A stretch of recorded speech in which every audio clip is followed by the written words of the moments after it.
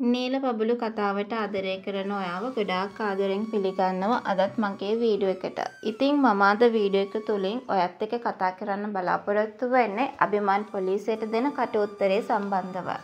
ඉතින් වීඩියෝ එකට යන්න කලින් ඉල්ලීමක් කරනවා. ඒ තමයි වීඩියෝ එක බලලා ඔයාටත් මෙවැනිම වීඩියෝස් දිනපතාම බලන්නට කැමැත්තක් තියෙනවා නම් එහෙනම් අනිවාර්යයෙන්ම මගේ channel එක subscribe කරලා මාත් එක්ක එකතු වෙන්න. ඒ වගේම like කරන්න, comment කරන්න, තවත් නොදන්න යාළුවෙක්ට දැනගන්න. අනිවාර්යයෙන්ම share කරන්නත් අමතක කරන්න එපා. ඉතින් ඔයා මෙතනදි මේ වගේ දෙයක් ගැන හොඳටම දන්නවා කියන කාරණය තමයි අපිට අමතක කරන්නම බැරි කාරණය වෙන්නේ. ඉතින් මං මොන වගේ දෙයක් ගැනද ඔයාට කියන්නේ? ඔයා මේ වෙලාවේ ඒ ගැන ලොකු ප්‍රශ්නයක් හිතේ තියන් ඉන්නවා කියන දේ ගැන තමයි අද වීඩියෝ එක තුලින් කතා කරන්නට බලාපොරොත්තුවක් තියාගන්නට අවස්ථාවක් තියාගත්තේ.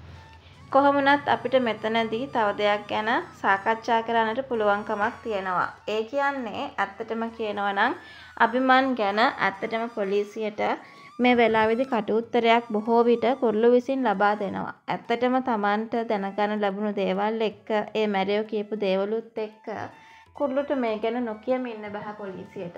මොකද ඒකට හේතුව තමයි අභිමන් පූජා. මේ දෙන්න එකතු වෙලා තමයි මේ වෙද්දී තමන්ගේ පැහැර ගැනීමේ කටයුතු සිද්ධ කරලා තියෙන්නේ. ඉතින් ඒ ගැන තමන්ට ලොකු වේදනාවක් තියෙනවා.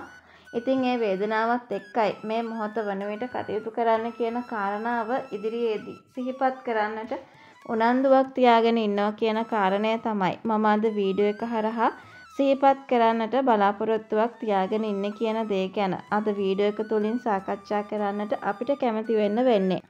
ඉතින් තව දෙයක් ගැන අපි මෙතනදී සාකච්ඡා කරන්නට උනන්දුවක් තියාගෙන ඉන්නවා කියන දේ ගැනත් අපි මෙතනදී කතා කරනවා.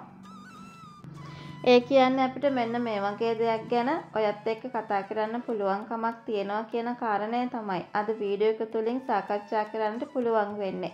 ඉතින් මම මොන වගේ දෙයක් ගැනද කියන්නේ? ඒ ගැන පැහැදිලිවම අට ඔයත් එක්ක අර්ථකථනයක් දක්වන්නට පුළුවන්කමක් ලැබෙනවා කියන කාරණය අද වීඩියෝ එක තුලින් සාකච්ඡා කරන්නට බලාපොරොත්තුවක් තියාගන්නට පුළුවන්කමක් තියෙනවා.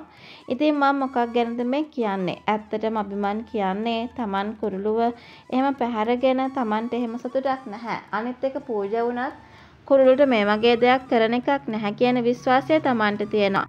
ඉතින් පූජගේ ජීවිතේ පූජ මේ වෙද්දි ඇත්තටම හැමදේම තේරුම් අරගෙන ඉන්න කෙනෙක්. ඉතින් ඒ හින්දා තමන්ගේ නැගණියට මේ වගේ අපරාධයක් පූජ විසින් කරන්නෙත් නැහැ. තමන් කරන්නෙත් නැහැ.